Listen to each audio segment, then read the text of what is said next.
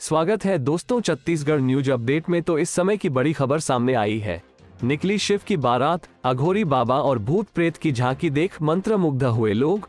धमत्री ज़िले में महाशिवरात्रि के एक दिन पहले ही भगवान शिव की बारात बड़े ही धूमधाम से निकाली गई। इस दौरान भूत प्रेत, शिव पार्वती विवाह, अघोरी बाबा नागा साधु जैसे विभिन्न झांकियों ने शोभा यात्रा को ऐतिहासिक बना दिया।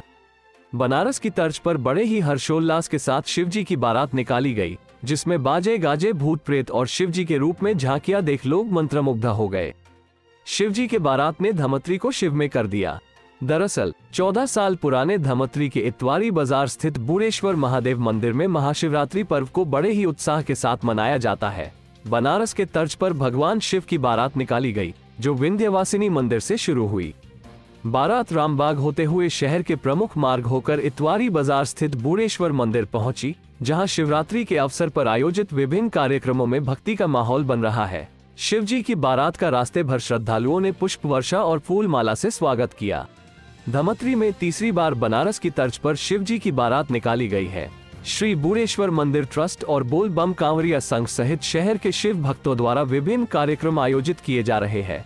मंदिर ट्रस्ट से जुड़े लोगों ने बताया कि झांकी में विभिन्न रूप से बनारस से पहुँची अघोरी बाबा की टीम उड़ीसा की विशेष झांकी लोगों का मन जीत रही है।